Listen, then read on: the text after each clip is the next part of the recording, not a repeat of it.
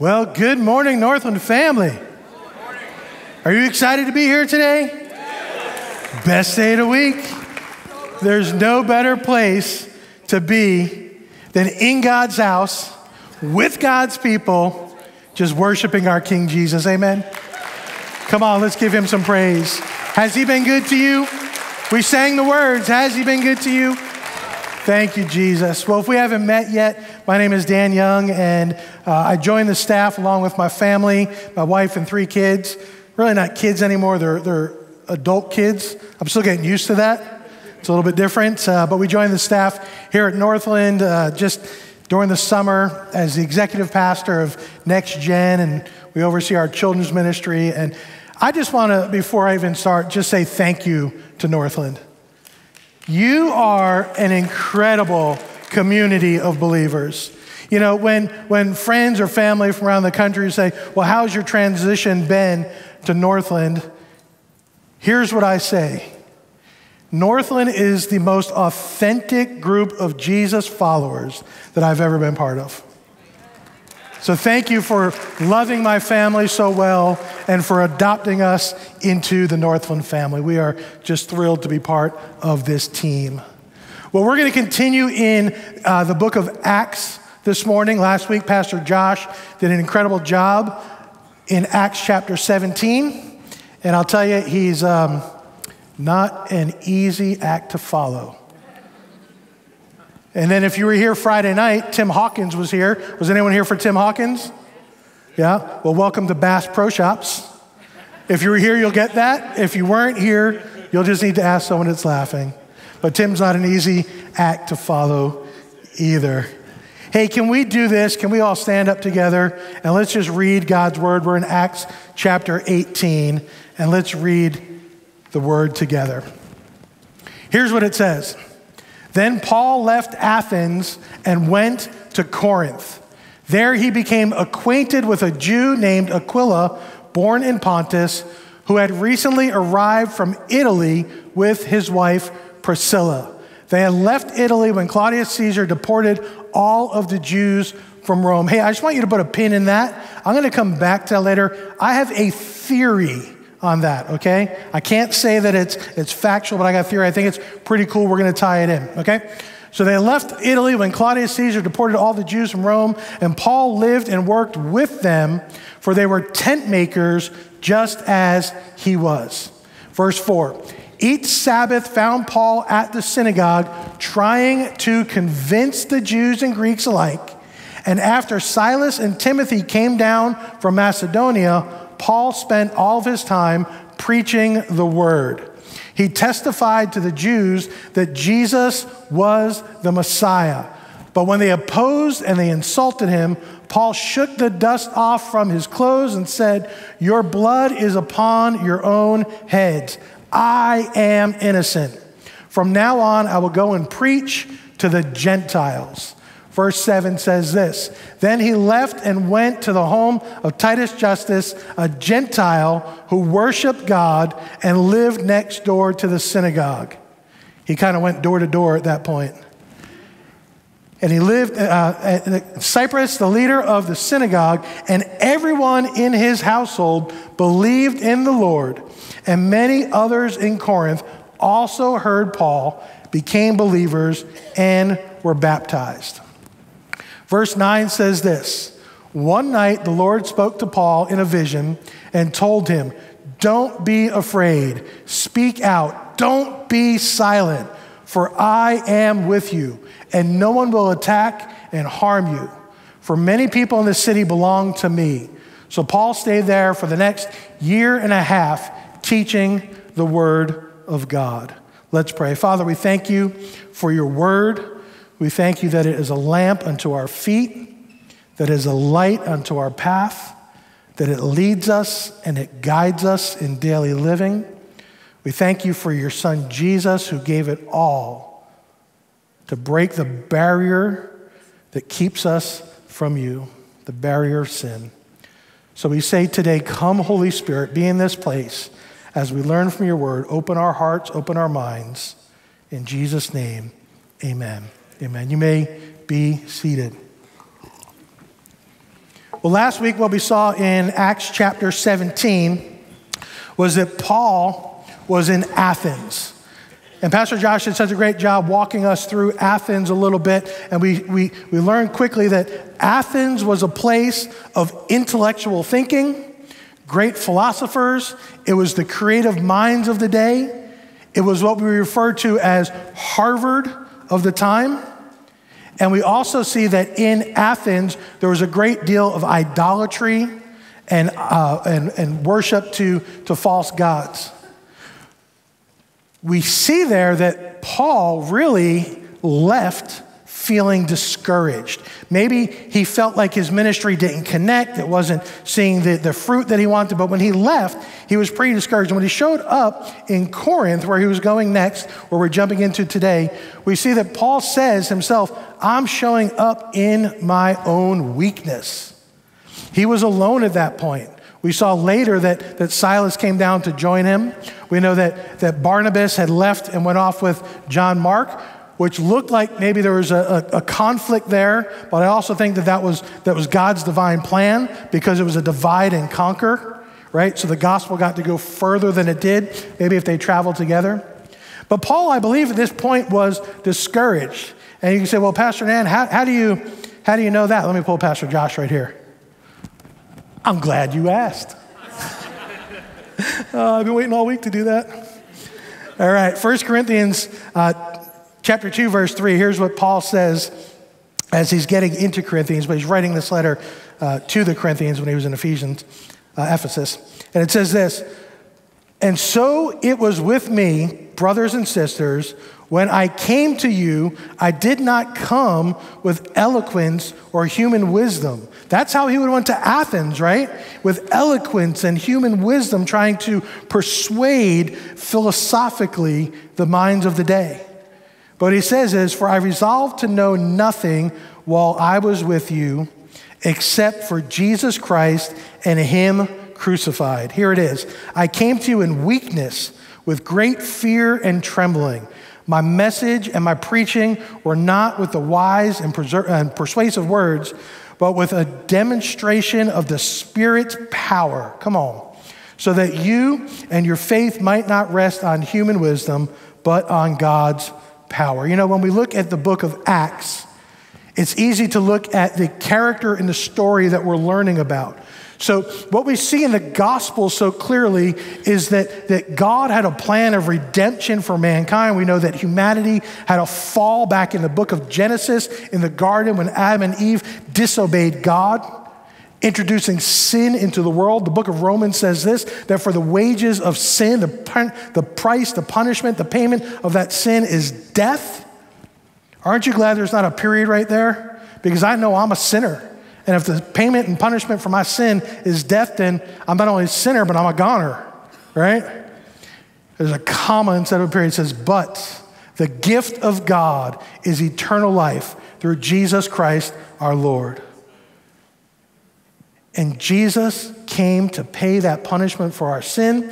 He died on a cross. He was buried three days in a grave until he rose again, showing his glorious power over sin, death, sickness, and the grave. And today he sits at the right hand of God the Father, interceding for each and every one of us.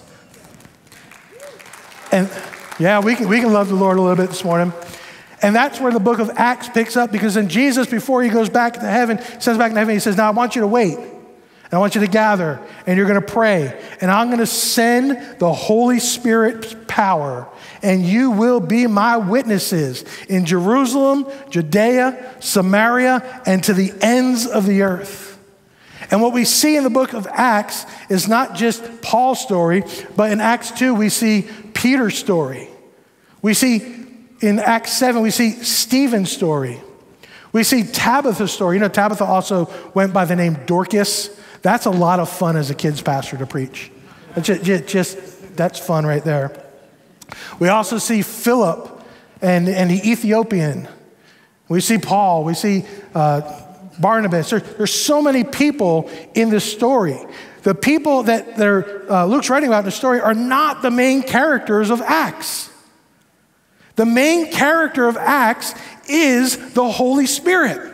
The Holy Spirit comes to empower His church, to live within us, to fill us with His power so that we can go out and be a witness to the world of the goodness of God. And we see people through the book of Acts that are doing just that. So today we're really talking about a great title for the book of Acts would be the Acts of the Holy Spirit working through the life of the apostles. So we see that Paul leaves Athens and he makes his way over to Corinth. So I'm going to give you a lot of context on Corinth today. It's going to be a lot of, of history because I want to put a filter in place for us that when we read the word uh, next, when you, when you maybe go home and you start to study through 1st and 2nd Corinthians, you can have this imagery of what Paul had seen, had heard, had experienced and the people that he was communicating with. Does that, does that sound fair? Can we do that this morning? So, Paul would have showed up in Corinth around 51 AD. So, that, that's just shy of 20 years after the resurrection. So, really, not a long time after Christ was crucified, died, buried, and resurrected. Now, uh, Paul shows up on the scene in Corinth. There is an estimated about 400,000 people living in Corinth at the time. Now, most of the people that, when Corinth was established by the Romans, what they did was they took slaves and freed slaves and just kind of shifted and put them in Corinth. So initially, Corinth was made up of slaves and free slaves, okay? So it was back in, in 51 AD. It was about five times larger than Athens, one of the most important and strategic cities in its time. So I'm going to go over some of the strengths and potential weaknesses, as you'll see, of Corinth, okay? So the first strength in Corinth is it's had a setting for an ideal defense. So every city needs to have a good defense system in case foreign nations are going to come and invade to try to occupy that land. So one of the things that was a strength for Corinth, we see right here this hill or this mountain, that's called the Acrocorinth. Okay? So that gave the people of Corinth the high ground in case an invading army was going to make their way to Corinth to try to overtake the city. So we know as a military strategy, whenever you have the high ground, you, you, have got a good vantage point, right? You, you, you can see what's going on down, you can protect yourself. So, so Corinth was a strength to have that. They also had these tunnels, they had these grates that they can pick up in the ground, they can drop down, and they can travel underground and go out of Corinth so that they can pop up some uh, ways away and I just wonder when they did that, if like when a, when a Corinthian popped up, if that meant like six more weeks of winter. Uh, I, a kids pastor, folks. You might get this all morning. So, so they would, they'd be able to, to pop in this grate, go underground, come up, grab supplies, go back down, and come in. So they'd be able to go around the enemy that was trying to attack the city. Also, they had great water supply, which was super important. So, you know, in that, in that region, you know, it's very dry, very uh, mountainous, very rocky. But in Corinth, not only did they have a, a water spring, but they had about 300 cisterns, which are large vessels to collect water and rainwater. So, so they, they had a good, strong defense. Okay? Secondly, their geography was a strength to uh, Corinth. So let's talk about the geography just a little bit. I put a little pin on there. I don't know if you can see it. Is it big enough for you? That, that, that's right about where Corinth would be, okay? So Corinth sat on this piece of land called an isthmus. Isthmus. Not quite as fun as Dorcas, but still a good word.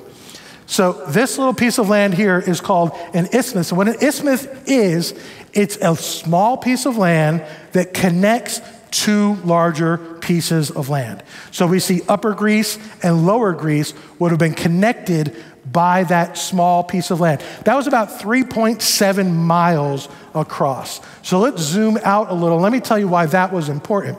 Because back in the day, there was no Amazon Prime. And if you wanted to get a package shipped to you, it wasn't coming in two days like it is today. But if you started over here in Macedonia, Thessalonica, Berea, anywhere in here, even Asia, you would have to sail down and around Achaia and then back up to get to Italy where Rome is. That adds from Corinth and around about 200 miles onto the sailor's journey. Now, if you look in there, what do you notice like right here? There's just a lot of rocks. The debris was difficult. It was, it was a very dangerous place. It was very stormy, lots of weather, lots of waves, wind. In fact, it was so dangerous to sail around that point that it was said any sailor who attempts to make that trip twice will never see home again. That's how dangerous the sea was. So it was so much easier for the people to do this. They would take their, their ships. We're going to go back to the isthmus. Er, er. There we go.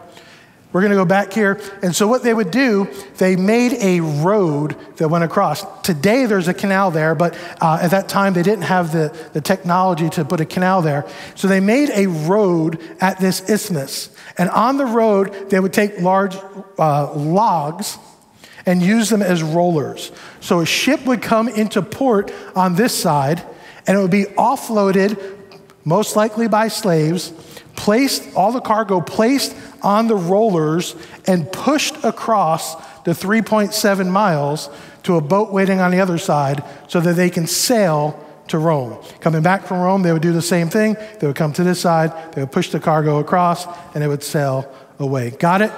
Are you guys tracking with me so far? So that was important to Corinth because of a few reasons. It brought uh, all the trade right through. They became a crossroads, if you will, to the world.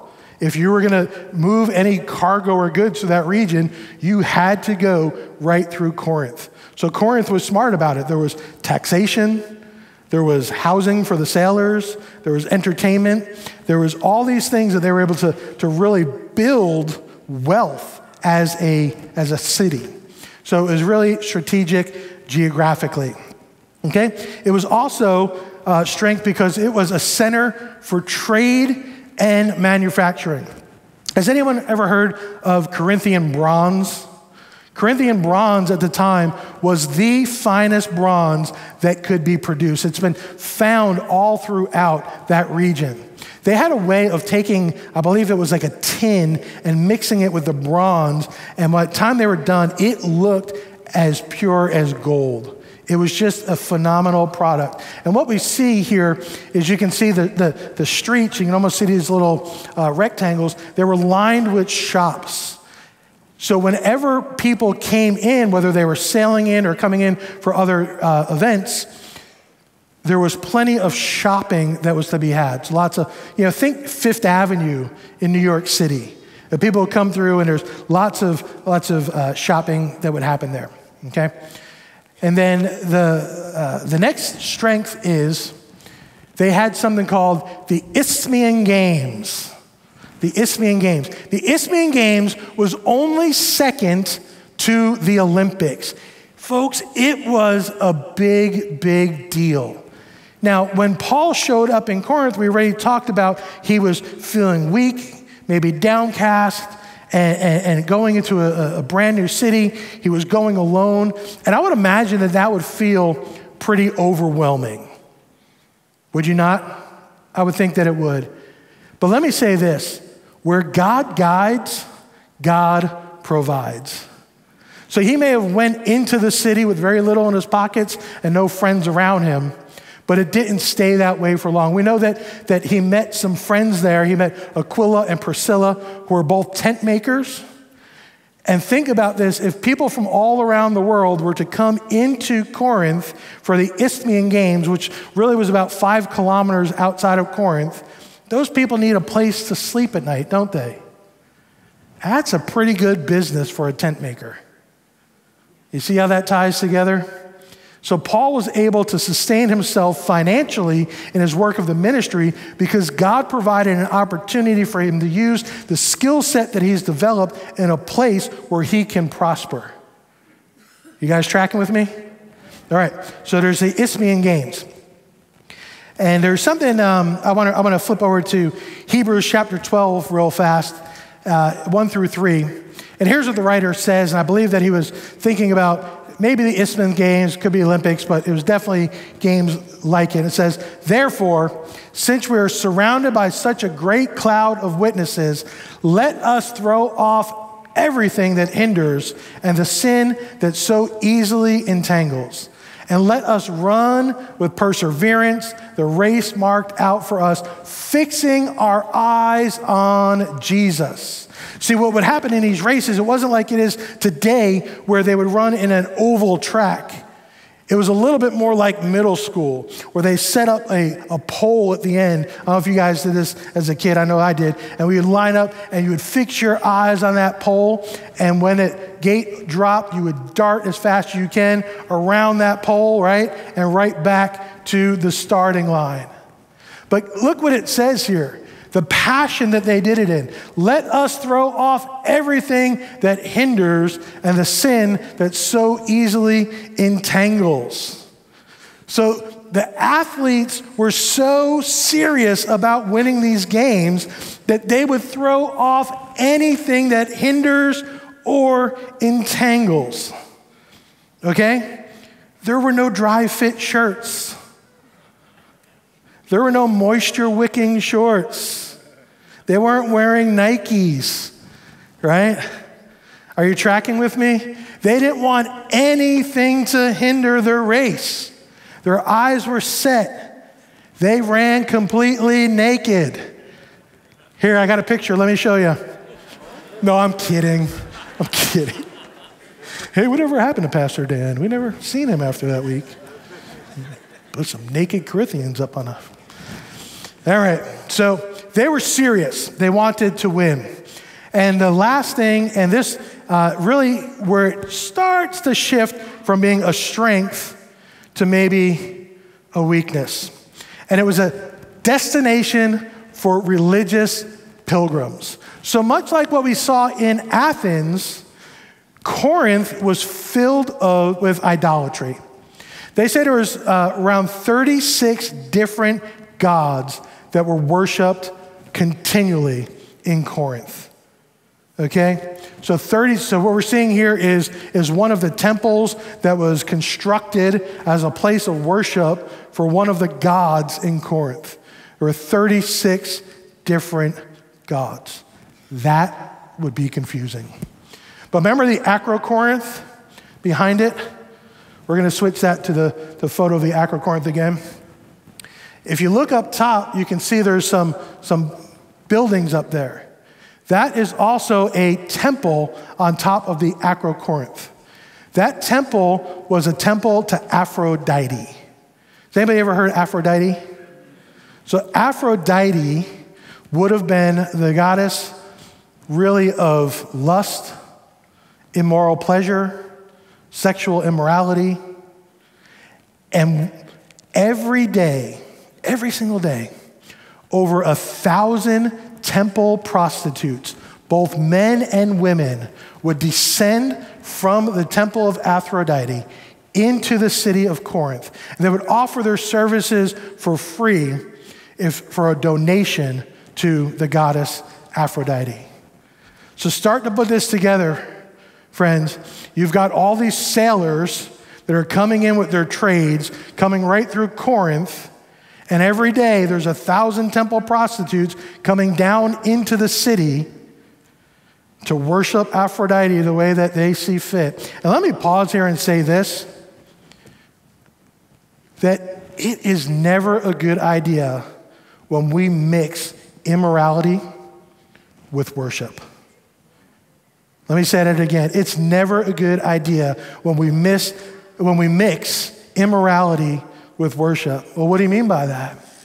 I'm just going to say this. There are a lot of people today that want to live particular lifestyles, live a certain way, that will look into God's word, will twist scripture around to try to fit it into a place where they can say, okay, I can justify what I'm doing. It's never, ever a good idea. Let's just, let's just stick with God's word, amen? Let's just do it His way. So it was a destination for religious pilgrims. You know, the Greeks, they loved their theater. They loved to put on plays, and they had uh, uh, amphitheaters everywhere. There's actually an amphitheater in Corinth uh, today, so you can see the, the ruins there. And the amphitheater, believe it or not, has not been excavated yet. So it's going to be it's going to be really neat when it is. So you can go to Corinth today and you can see uh, in the ground buried. You can start to see the shape and the and the seats of this this amphitheater. Well, anytime that there was a, a an actor in the play that was a Corinthian, was from Corinth, that person in the play was always represented by a drunk someone who stumbled around, who lived immorally, who just did their own thing. And that was, there's actually a, a saying, and it was to Corinthianize someone. I think that means you're going to pull them to the dark side, right? It's probably not where we want to go with uh, leading people, right? But they wanted to pull people to make them Corinthianized. Or if you went to Corinth, you were Corinthianized. It's kind of like what happens in Vegas stays in Vegas, right? What happens in Corinth stays in Corinth. So that is the setting that Paul was walking into. And don't forget, he was without his friends, his pockets were light, and he's just weak from uh, the experience that he had in Athens. You know, I, when, I, when I look through the Bible, I can't find a book of Athens. You guys see a book of Athens? Right? So, so when Paul left, he really wasn't even writing back to anybody to encourage them or to build up their faith because it just, it just didn't go the way that he wanted. It just wasn't the most successful mission. And that's okay. That happens to all of us. So now Paul is moving into to Corinth. And where God guides, God provides. So we see in verses 1 through 3 of chapter 18 that Paul meets Aquila and Priscilla, who are tent makers just like he is. It is so important that we have friends, friends in life, people that, that we can count on, we can be accountable to, that'll walk us through tough times, that we can help walk them through tough times, to do life together. Friends, I don't know what some people do without the church. I am so thankful for the church and that every low in my life, there were people that would come surround and encourage and support me. And I hope that you felt that in the church as well. I want to tell you a quick story from, from the first church that, that my wife and I were a part of. We were on staff, it was back in New Jersey. And we were fresh out of Bible school. We were in our, in our 20s at the time. Um, not my 20s anymore, so that was a long time ago. And uh, in this particular church, we lived in a parsonage. So, parsonage is just a house that is owned by the church that, that the, the pastor or the staff uh, can live in. So, it was a, it was a four family house. It was in Paterson, New Jersey. It was a lot of fun. And, and the bottom floor was a basement apartment. It was a little bit creepy. And that's where Pastor Steve lived. And then the next floor up would have been a nice two bedroom apartment. And that's where our youth pastors, Jim and Annette, lived. Jennifer and I lived up in one apartment. Then our worship pastors lived across the hall from us. We're all about the same age, all about the same stage of life. And what just happened naturally is just about every day, we would all gather together for dinner. We'd have dinner together. We'd play some video games and, and just enjoy being with each other. But we would laugh until our sides split. Like, I could probably spend all day just telling stories of, of just the, the laughter that we had. When, when Jim left, Jim still today, 20 years later, uh, one of my best friends on the planet. When he left and he went to another church, I would, I would prank phone call the secretary every day and ask if he's still in the state because he's not allowed to leave the state. And I would come up with all these crazy scenarios where, where his new team is like, um, what, what's going on? And he's just like, listen, I've got this friend named Dan, and you just, he, he can't, he's going to do this. You know, but we laughed and we laughed and we laughed. And why is that important? Because there was a day that came in that church where I get a phone call and said, Dan, there's been an accident. We need you to get to the hospital quickly. That's just something you never want to hear when you're, when you're in ministry. So I get to the hospital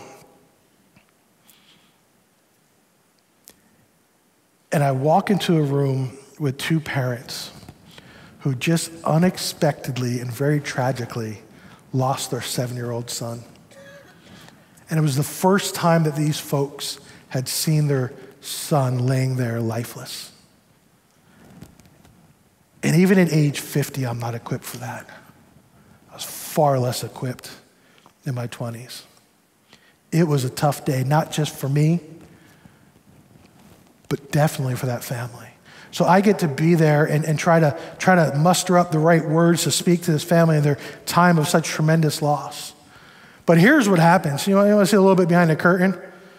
I go home that night, and guess what I do? I bawl my eyes out for days. But I was so thankful that I had friends in my life that would come around and support and encourage and speak faith into and, and we're able to then rise, you know, pick myself up by my bootstraps and, and walk with that family through their darkest day.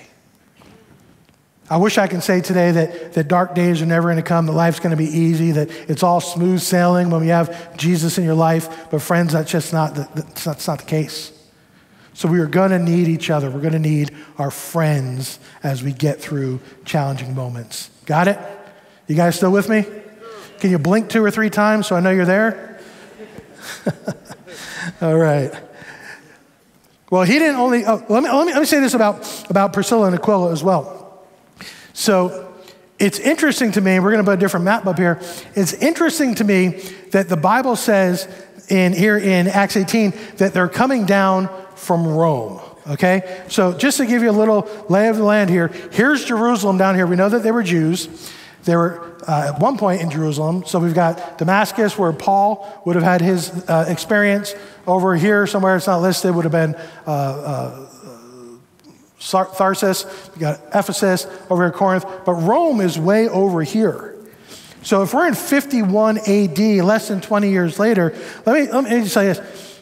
Paul didn't even get to Rome in his missionary journeys until about 58 AD, which means that the missionary aspect of the gospel hasn't even traveled to Rome yet. We're about seven years too early. But there it says that, that Aquila and Priscilla come from Rome, and we see that, that the Caesar had thrown all of the Jews out of Rome. Well, how did these Christians get to Rome if the gospel hasn't traveled there yet? Have you ever asked yourself that?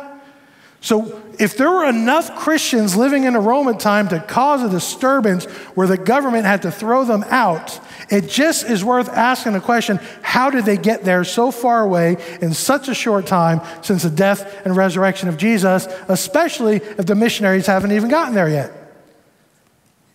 Remember, I told you earlier I had a theory I wanted to bounce past you? Are you ready? So, how did Christians get way out there? Pentecost. Pentecost. So, what we know about Pentecost is this that just 50 days after Jesus ascended, that the Holy Spirit was going to change addresses for one last time. Well, what do you mean by that? I'm glad you asked. I'm going to get in trouble tomorrow. What do I mean by that? So, so we know that this was during one of the pilgrimage festivals. So Jews from all of the known world would have traveled to Jerusalem to celebrate the festival of Sukkot, which is also called Passover, I mean, Pentecost, which um, is, so everyone would have been there. And then we see the Holy Spirit rise up from behind the, the, the Holy of Holies in tongues of fire and now shift and fall on the believers of the church.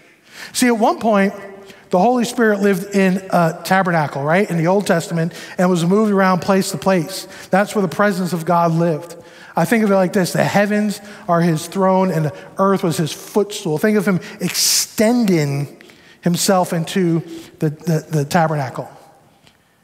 And in the New Testament, we see that tabernacle, those tents, were made a permanent home, and the presence of God dwelt in the temple behind the veil in the Holy of Holies. We know that on the day that Jesus was crucified, that that veil was torn in half, and that on the day of Pentecost, the Holy Spirit comes up out of there. Never again to live in a tent, never to, again to live in a place made of stone but now lives within you and I. The Holy Spirit, the same Spirit of God that raised Jesus from the grave, lives within each and every one of us. That should be something to be excited about. So I think more than just being uh, tent maker friends, which was important, I think they found some Holy Ghost filled evangelists that were ready to change the world and go into the, to the ends of the earth with the gospel. And I think that's where the friendship was forged more than anything else. We need some friends in our life that are willing to lay it all down for the gospel. Number three is Paul also had not only some, some friends, but he had some foes. He had some enemies in Corinth as well. We see right here that when he went into the synagogues in um, verse 6, 12, 13, 17, that the way that the synagogue's leaders treated Paul, he was abused, he was arrested, he was accused, he wasn't treated well. His word was not taken to heart. And then they bring him before the Roman governor, Gallio, and they charge Paul with blasphemy, but Gallio refuses to try that case. You know, we can look at those as a setback, right? It could, Paul could have looked at it as when, when, he, when he went to the synagogue to preach Jesus in a place that needed to hear about Jesus. When he was met with opposition, we can easily say, oh man, looks like things are falling apart. But I don't think things are falling apart. I think things are falling right into place. Paul was right where God had him, doing exactly what God wanted him to do. So he wasn't having much luck in the temple. But I can imagine Paul walking around Corinth, seeing what he sees 36 different temples, 36 false gods, the temple to Aphrodite, the sexual immorality, the sailors indulging in, the drunkenness, and walking around and saying, I can't give up. I can't give up. These people have no hope. These people need Jesus. They are lost, they are dying, and I have the solution. And if they're not going to hear it in the synagogues, then you know what I'm going to do? I'm going to go start banging on some doors. I'm going to go start knocking on some doors. I'm going to go say, hey, you, you need Jesus. I mean, I'm going to take you with me. And how about you over here? If they're not going to listen, how about you? Can I tell you about the risen Savior? And Paul just went door to door because he had the fire of God shut up in his bones and he could do nothing else except preach the gospel. So we see that Paul needed some friends. He came across some foes. But then in verse 7 and 8, it says this many are saved, including Crispus, the leader of the Jewish synagogue. So we begin to see the fruit. Had to overcome an obstacle. God provided every step of the way, maybe even redirected the course. And finally, Paul starts to see some fruit. And lastly, we see in 18, 9 through 11, that God Himself reassures Paul in a vision. And He says, Do not be afraid. Do not be afraid. Keep preaching, for I have many people in this city. So we end with the Father's faithfulness. It's the faithfulness of the Father. He said, Paul, don't give up. I know it was hard in Athens. I know it's a rocky start here in Corinth. But look around. Just because of the way I'm wired, I can't help to think of the, the children that lived in Corinth. You see, they grew up in a place with just every ungodly thing you can think. And to those kids, that was just normal. That was just life. That was just the way that it is. And Paul going, No, no, no, no. There's so much more. There's so much more. If you only knew the love of the Father, if you only knew what Jesus did for you, then all of this would pale in comparison to the glory and the majesty of Jesus. It was so in Paul that it had to get out. He had to tell someone. He had to share that faith. He had to rescue just one more soul. I thank God for Paul. Are you thankful that he didn't quit? Could he easily quit? If Paul quit, I wonder where we would be today. so easy to just throw in a towel sometimes when times get hard when maybe we don't see the, the end, maybe we can't see the clear path. It's easy to throw in a towel, just move on to something else. Paul wasn't going to have it. You know, I think that when I look at Corinth, and I, I don't want to burst our bubbles today here, but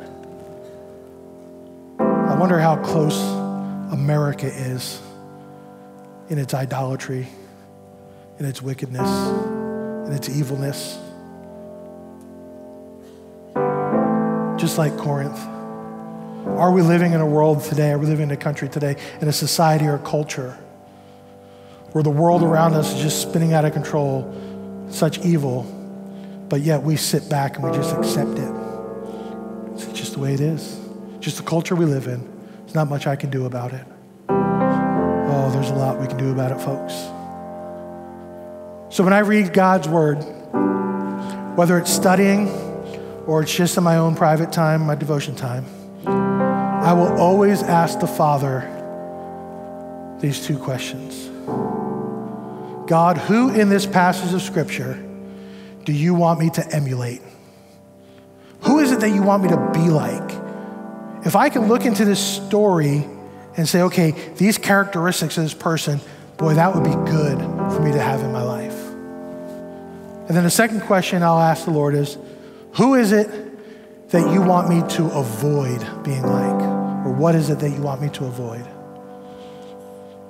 So I want you to ask yourself that even in the next moment.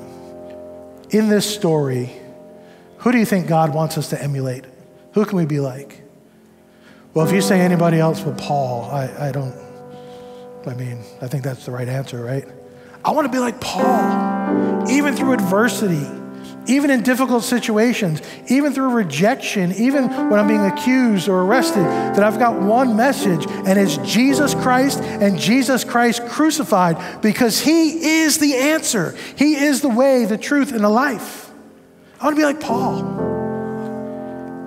And then I started to pray and ask the Lord again. I said, okay, well, who in this passage then should I avoid being like? And the Lord spoke to me. And it wasn't Aphrodite, and it wasn't the temple prostitutes. It wasn't even the synagogue leaders who rejected the message. But the Lord said to me today, and I felt Him saying, I want you to, to let the people of Northland know he wants us to avoid being the Corinthians. We don't want to have a Corinthian mindset. When we see the wrongness that's happening, the evil surrounding us in the world today, do we just become complacent? Do we allow maybe coarse humor in where we should be guarding our hearts and our mind against things of the world? Are we accepting of culture in a way that's doing more harm to us personally than it is good? Are we just going to sit back, watch our nation go to hell in a hell, hell in a handbasket? Or can we be like Paul, filled with the Holy Ghost, surrounded with people, walking in God's provision, and making a difference wherever we go? You see, you, all, you folks have an opportunity that only you have. Tomorrow, you're going to get up, you're going to go to your workplace. If I go to your workplace tomorrow, I'm probably going to get thrown out or arrested, right? But if you go to your workplace, you're going to get paid for it. And you're going to have the opportunity to make a difference in someone's life. You can be a Paul wherever you go. So I'd like you to close your eyes if you would. Maybe bow your heads. And I want you to just, just think about your, your life for just a moment.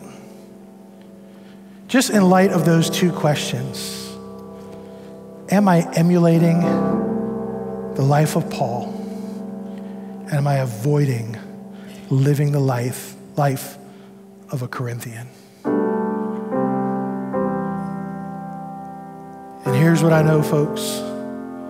If we were honest with ourselves today, I think a lot of us would say, you know what? I may have just accepted too much culture into my life. I may allow things to slide to the point where I just don't even recognize the sin that's around me. You may not be participating or taking in it, but just kind of complacent to it. So I just want to ask the, the real question this morning.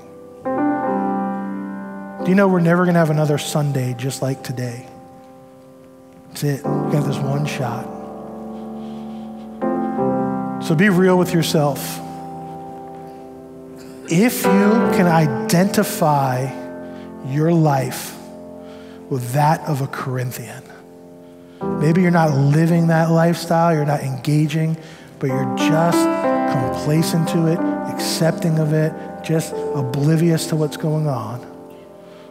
Maybe you are living that life. Maybe there are some things in your life today that you're going to say, Dan, you know, I know I need to change. I can't continue to live the same way. I can't continue these patterns in my life. They're killing me. If you can identify more with a Corinthian this morning and you want to make a change with every eye closed, no one looking around, I'm not going to embarrass you. I just want to pray for you. If that's you, will you just slip up a hand so I can see you? Say, you know what? I've got some sin issues in my life. Thank you. I see those hands. I've got some sin issues in my life. And today, it needs to change. Today, it needs to change. I see you. Bless you. Bless you. Don't want to live this way anymore. Don't want to identify as a Corinthian. I want to be a Holy Spirit filled follower of Jesus, taking the message of the glorious gospel to the world. Will you stand with me? There were several in the room this morning, as there were at all the services, that said, you know what? I know that I need some change in my life. I've done some things. I can identify that in my life, and I need Jesus. And if that was you today and you raised your hand, then there's going to be a prayer team down here at the end, and we would love to be that friend in your life, to come around you, to, to encourage you, to walk you through this new journey with Jesus. And for the rest of us, don't quit. Keep going. Keep going. Don't be afraid. Keep going because the Lord is with you.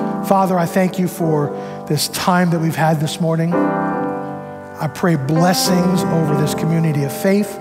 Let Northland be a church that is so filled with the Holy Spirit that wherever we go, people see Jesus before they see us. So we give you thanks. We pray in Jesus' name. Amen.